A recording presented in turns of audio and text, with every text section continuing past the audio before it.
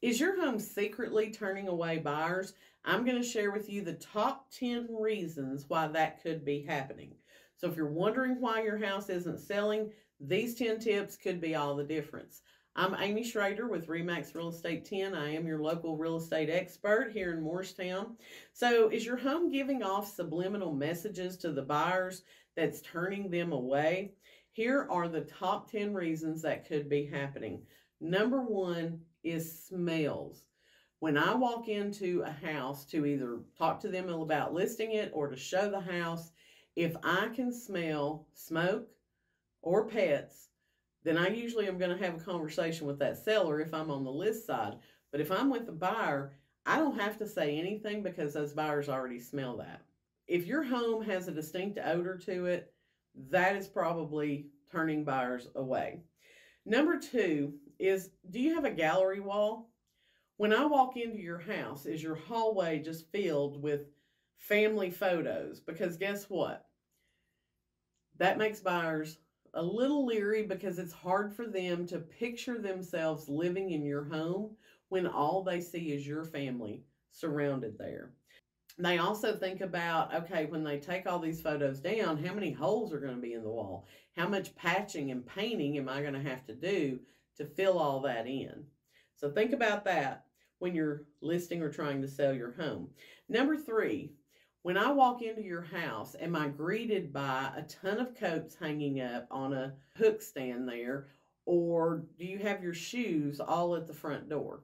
Because what that tells me and what that tells the buyer is that you don't have a coat closet. So you've just got the stuff out there for everybody to see. And so you're immediately, as soon as the buyer enters the home, the buyer's thinking they don't have closet space. I walk into their house, all I've got is coats in the hallway here and a bunch of shoes at the door. They don't have anywhere to put that.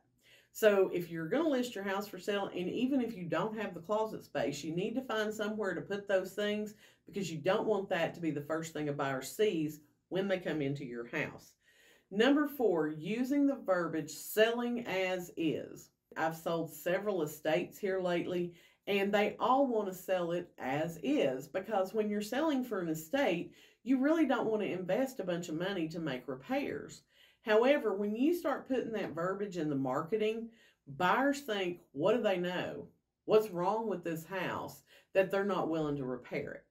And while as an agent, we kind of get the gist of what's going on, I would highly encourage you not to use the term selling as is in the marketing of your home because, again, it does give off a bad impression to buyers. Number five, when a buyer walks through your home, they are looking in your cabinets. Okay, I know that kind of freaks some people out, but they'll go in the bathroom and they're going to look underneath the sink because they want to see if there's ever been a leak there. And if they open that and you have towels stored underneath the sink in the bathroom, again, you're putting off the vibe. You don't have storage in your home. Find somewhere to keep your towels, your linens, whatever, but don't store them underneath the sink.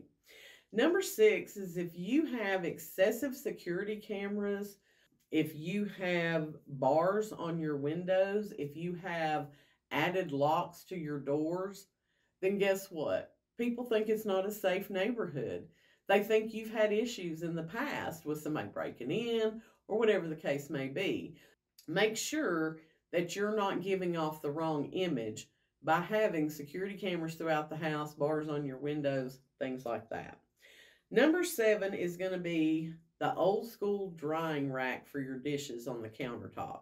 This is especially true if you have a dishwasher in the kitchen.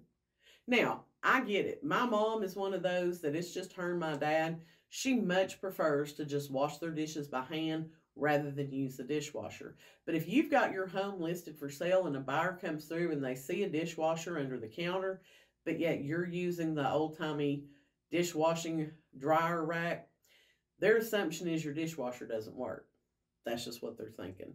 If you're just one of those people that prefer to wash your dishes by hand rather than use a dishwasher, hide it somewhere when you've got your home on the market and you know you're going to have buyers coming through.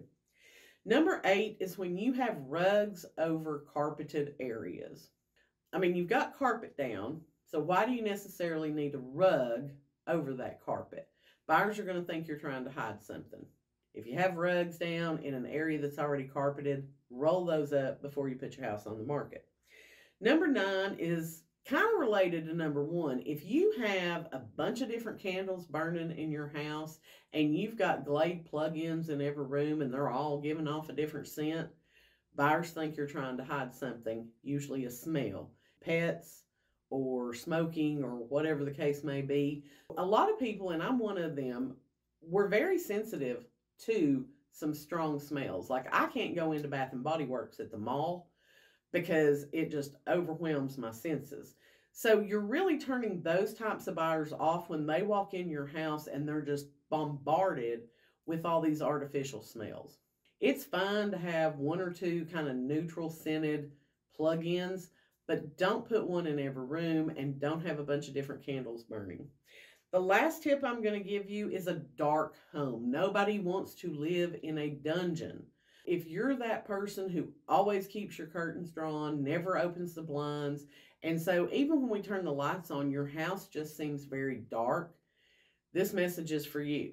So you need to open up your curtains, you need to open those blinds, make sure your windows are clean, and let that natural light help you get your home sold.